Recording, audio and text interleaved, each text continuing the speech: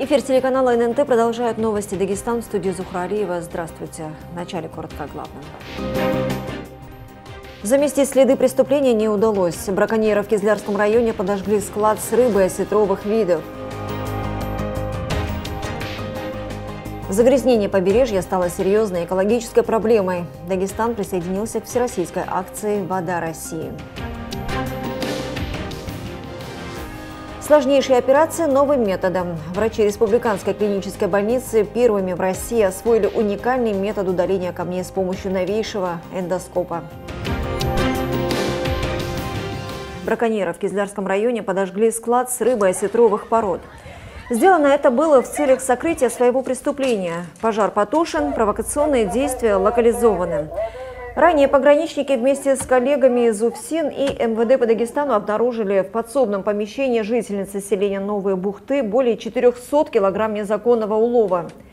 По предварительной оценке, нанесенный ущерб водным биоресурсам составил около 16 миллионов рублей. По данному факту проводится проверка. Возбуждены уголовные дела. Соблюдают ли закон компании, занимающиеся пассажирскими перевозками? Чтобы выяснить это, сотрудники ГИБДД и Ространснадзора вновь вышли на махачкалинские дороги. Инспекторы уделяют особое внимание соблюдению водителями требований дорожного движения, проверяют наличие техосмотра и состояние общественного транспорта. Полностью при перевозке пассажиров транспорт должен быть технически исправлен.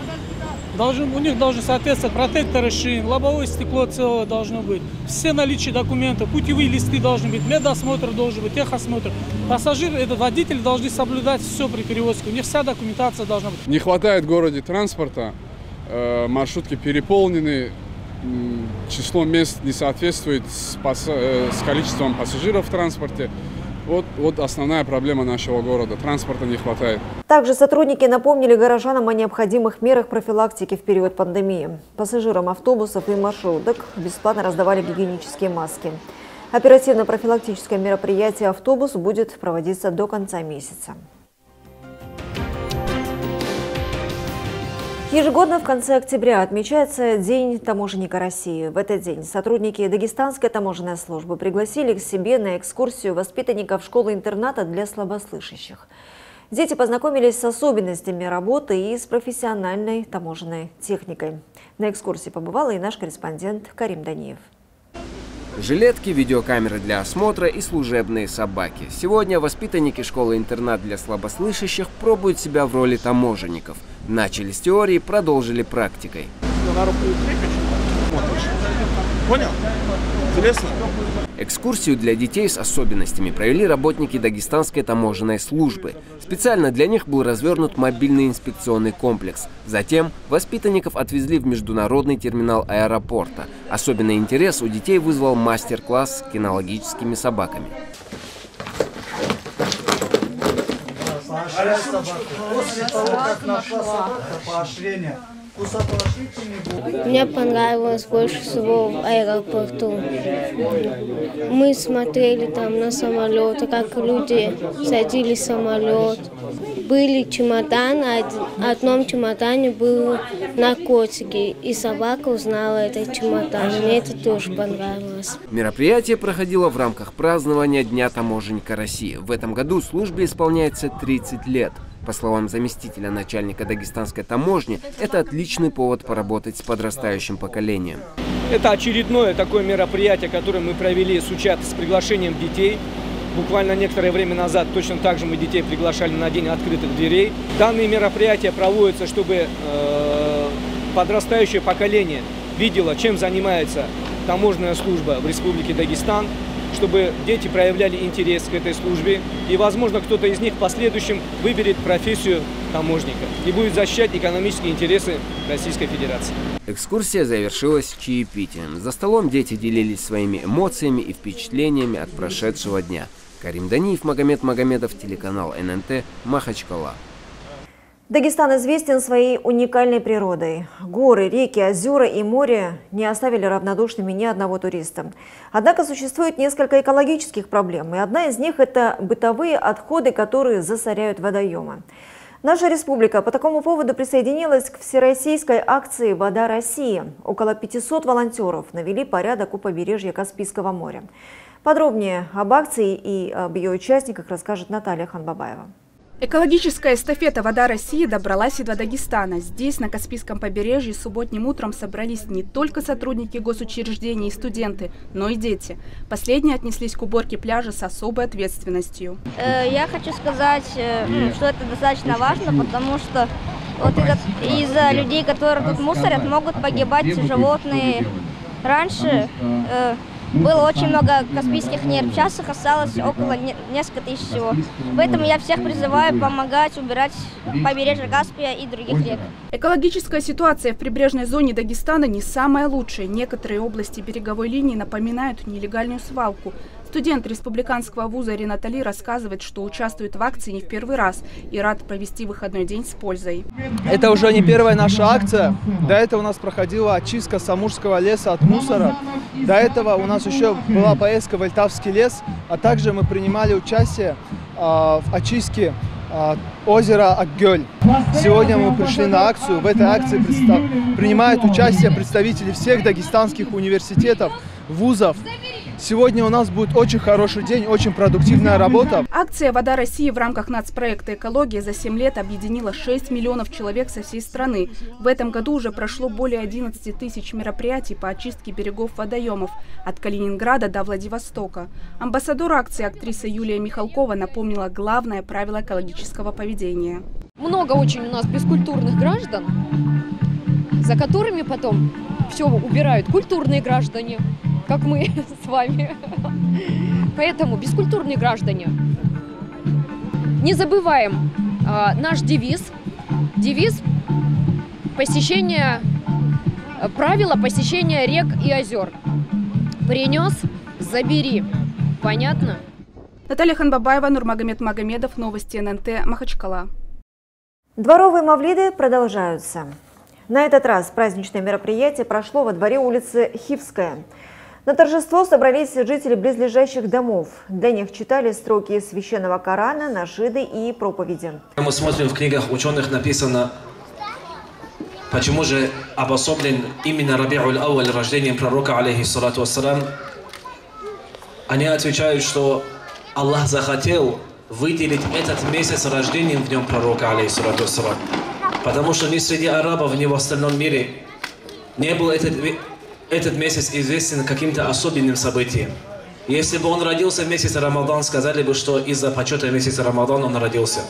Или какой-то другой известный среди людей месяц, если бы он вышел, сказали бы, что из-за почета к этому месяцу он родился. Но Аллах обозначил этот месяц рождением пророка, алейхиссалату вассалам а не его рождение каким-то особенным месяцем. Организаторы провели среди детей уникальный конкурс с подарками. Для всех участников был приготовлен горячий ужин. Инициатором проведения праздничного вечера выступил муфтият республики. Республиканский фестиваль «Вкусы Гумбета» состоялся в селе Первомайское. Праздничное мероприятие приурочили к столетию Дагестанской АССР и Дню работников сельского хозяйства – на выставке представили сельскохозяйственную продукцию и изделия народных промыслов. Аграрии представили мясо, урбеч, мед, фрукты, овощи и много другой фермерской продукции. Животноводы Гумбетовского и Длератинского районов показали племенной скот андийской и дагестанской горной пород. На празднике выступили вокальные и театральные коллективы, а также прошли спортивные состязания.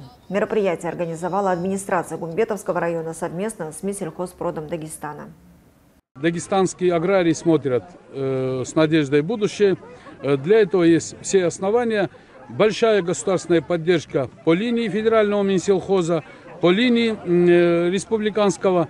И то внимание, и то отношение руководства республики аграрии чувствуют. Аграрии отвечают э, хорошими показателями. Врачи Республиканской клинической больницы первыми в России освоили уникальный метод удаления камней с помощью новейшего эндоскопа. Теперь хирурги проводят сложнейшую операцию в самых труднодоступных местах без единого разреза и побочных эффектов. Как проходит операция и на что способна современная техника, узнавала Патимат Ханапова. В республиканской клинической больнице появился новейший эндоскоп. Благодаря нему можно удалять камни по уникальному методу, который впервые в России освоили дагестанские врачи.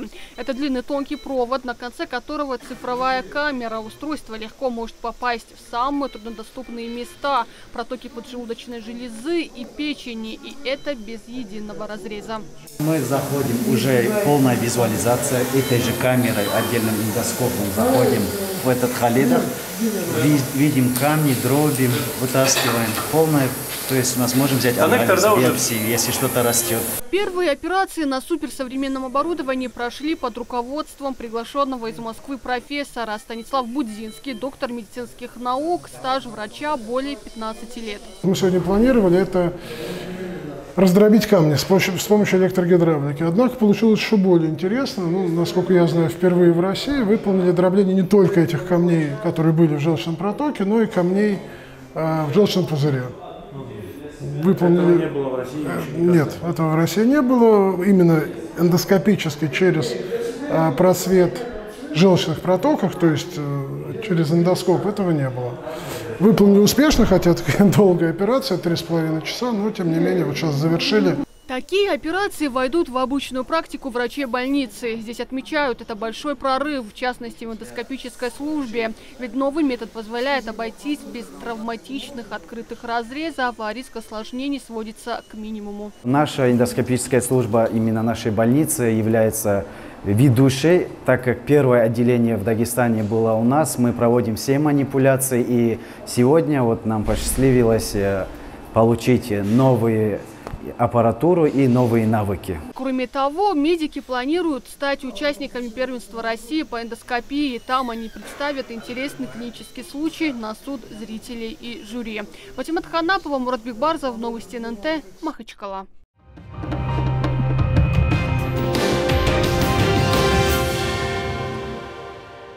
Махачкалинская «Динамо» вышел на вторую строчку в турнирной таблице ФНЛ-2. Накануне столичный клуб в гостевом матче одолел «Спартак» Нальчик. «Динамовцы» вырвали победу в самой концовке встречи. В компенсированное время со штрафного удара оказался точен Залимхан Юсупов. По итогам 15 туров команда набрала 33 очка и занимает второе место. Впереди только ростовский СК. Матч следующего тура наши футболисты проведут 31 октября дома против футбольного клуба «Чайка». А дагестанские юниоры вне конкуренции на турнире в Краснодаре. Всероссийские соревнования памяти двукратного призера Олимпиады Бесика Кудухова завершились в столице Кубани накануне. Сильнейших определяли среди 300 вольников не старше 21 года. Юниоры из Дагестана собрали самый большой урожай наград. В копилке 16 медалей, 4 из которых высшие пробы. Первыми в своих весах стали Башир Магомедов, Магомед Расул Аслуев, Алихан Исаев и Магомед Нуров. Также в копилке наших борцов еще 7 серебряных и 5 бронзовых наград. Смотрите нас также на сайте nntv.ru. А у меня на этом все. До встречи.